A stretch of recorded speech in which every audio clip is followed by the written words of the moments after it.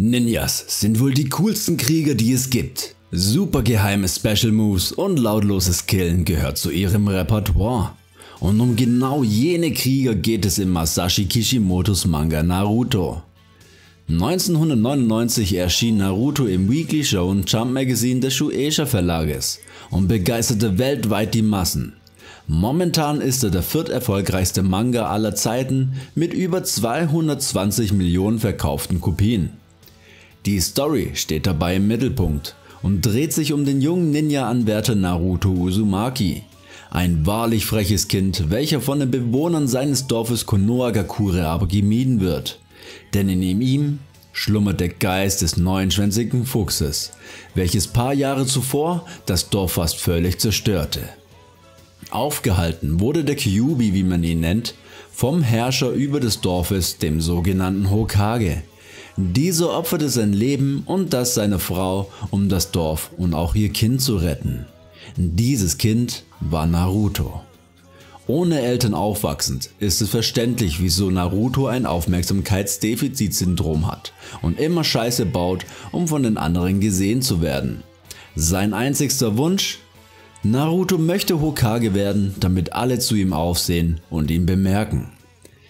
Dies Ganze gestaltet sich sichtlich schwer, denn immerhin muss er erstmal die Ninja-Schule abschließen und lernen ist nun mal nicht Narutos Stärke. Als die Story voranschreitet, wird er in ein Team gesteckt, bestehend aus Kakashi Hatake, einem erfahrenen Ninja und dem Leader der Gruppe. Sasuke Uchiha, einem Genie was die Ninja-Kunst angeht, welche aus dem berüchtigten Uchiha-Clan stammt, die bekannt sind für ihre überaus starke Augentechnik, das Sharingan. Doch Sasuke hat ein dunkles Verlangen. Er möchte seinen Bruder töten, welcher seinen gesamten Clan auslöschte.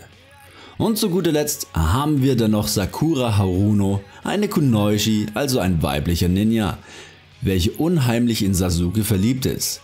Gleichzeitig ist sie aber auch der Love Interest für Naruto. Na dieses Team kann ja nur schief gehen.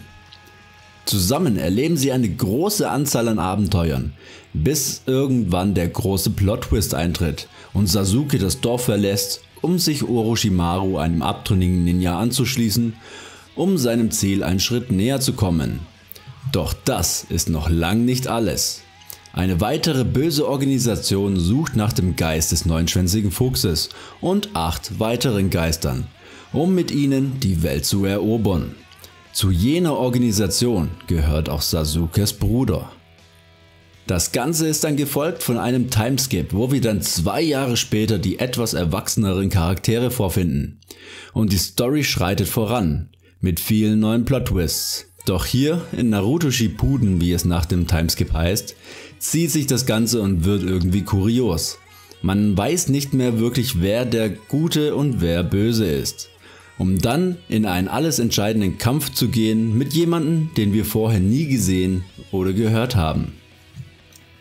Die Story begann wirklich stark. Es waren viele tiefe Emotionen versteckt und war immer spannend.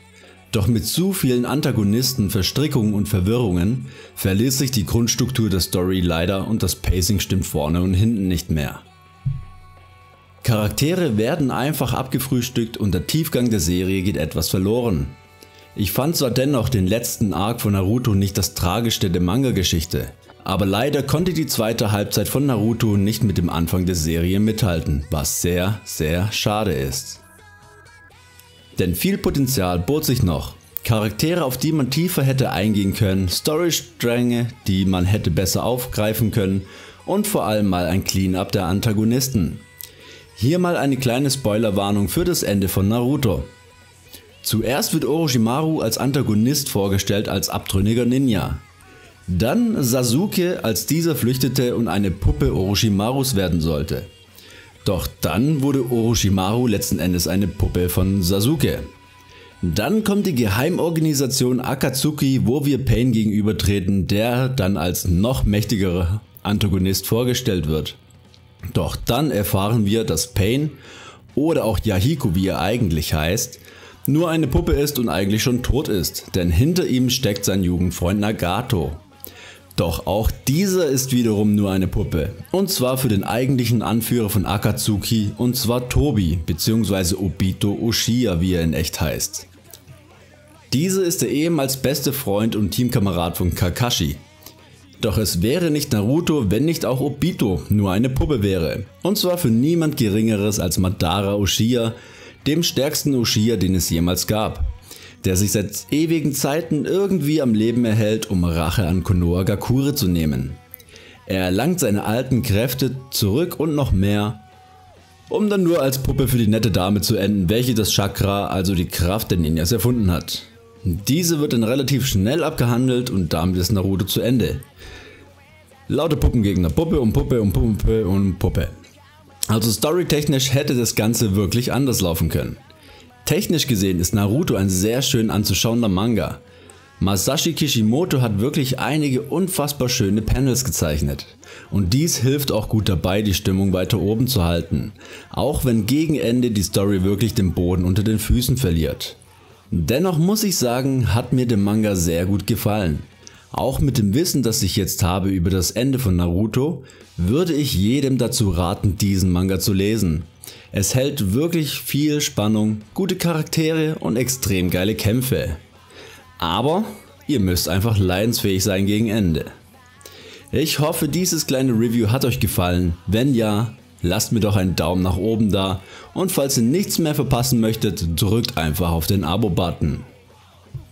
Bis dahin wünsche ich euch viel Spaß und haut rein. Ciao. 修羅の道の中人の傷を広げてどこへ行く国際色のガラスがそれを奪い取る